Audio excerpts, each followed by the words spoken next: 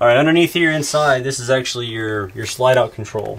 Um, if you look at the button, it actually says slide room. It'll say in and out.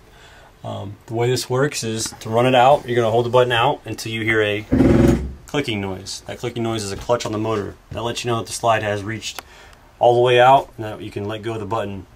Uh, when you want to bring it in, you just hold the button in. It'll then run the slide room from the bottom up and then in first.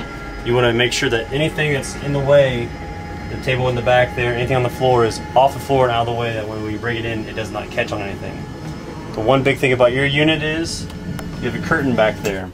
So what you're going to want to do is make sure that someone tucks this behind here when you run it in. Otherwise you're going to tear it off the wall.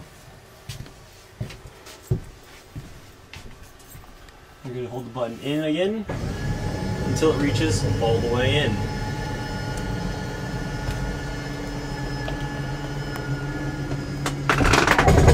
Once again, hearing that clicking noise lets you know that the slide room has then reached all the way in. To run it back out, you just do the reverse. You hold the button out, and do it until you hear the clicking noise. You want to make sure you watch that curtain again as well on the way out. If you have to, you can stop, pull the curtain out of the way, and then continue running it out.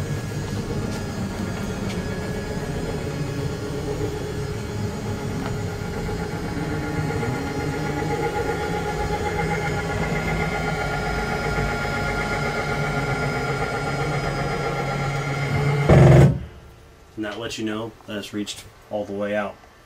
Um, underneath here, next to the slide control is actually a little light switch. This light switch works your outside porch light. So if you're wondering what that switch does, it's outside porch light. All the lights in here, um, other than the bathroom light, are controlled on the lights themselves. So to turn on and off lights, you need to flip them on and off at the lights themselves. Um, ones in the slide have little buttons in them. They're a little bit different, but still, this is how you turn on and off your lights. Your cooktop. The way this works is you lift this up forward in half. There are little teeth that lock in behind this to hold the cooktop in the area that you need it to be. You're going to turn your burners on to light high, and you're going to twist the top burner spark over. Every time it clicks like that, it's sparking the burners. You need to keep clicking this as many times as necessary in order to light your cooktop. The oven, on the other hand, is different. You have to light the oven by hand. This is the oven knob. The general rule is the same side the oven knob is on, the pilot light is on. So all the way in the bottom, all the way in the back is your pilot light assembly. You'll need a long stick lighter. You want to hold the lighter in in this area. You want to push and hold in on the knob where it says pilot on. You're actually going to push in and hold the button there as you light the pilot. As soon as the pilot lights, you can then release the knob. It'll stay burning. Then you just twist the knob to whatever temperature you want. The whole rod then here will light up with flame. You let it go ahead and start to warm up until you get it to whatever temperature you need it to. When you're all finished, you can either turn it to pilot on and leave the pilot burning, or if you're not going to use the oven that much, simply turn it off. Cooktop uh, range hood here has a small light and a vent fan. Anytime you use the cooktop, you have to use the vent fan. Otherwise you can cause damage to the surrounding areas. Above this is basically a standard household style microwave with a turntable.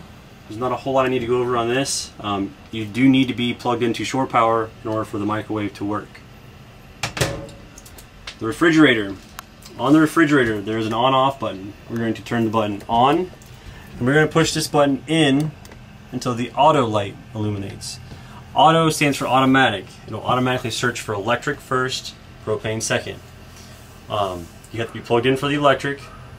If the electric does not um, kick on right away, um, what it's going to do is it's going to divert to gas, the secondary.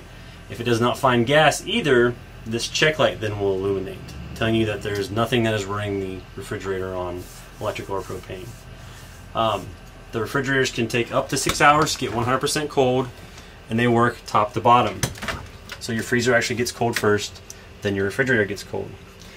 Um, it sounds kind of corny, but this little white slat that's connected to this hose back here is actually how you adjust the temperature in your refrigerator. The higher up that slat goes with that hose attached, the colder it gets in your refrigerator.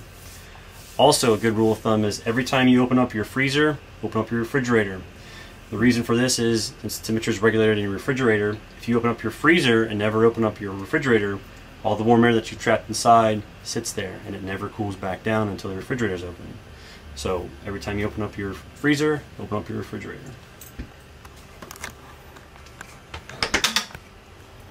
Down below the refrigerator is your converter box. This is where your fuses and your breakers are. If you have any electrical issues, this is where you want to look. Um, anything that works off 110 uh, electric has a breaker. Anything that is 12 volt has a fuse, and they are all labeled there for you to let you know what they are. There is a small little fan in the bottom that you hear running, or maybe hear running. That just ensures you that there is power being generated from there, um, and it's keeping itself cool. Right next to the converter box is an LP gas and a carbon monoxide detector all in one.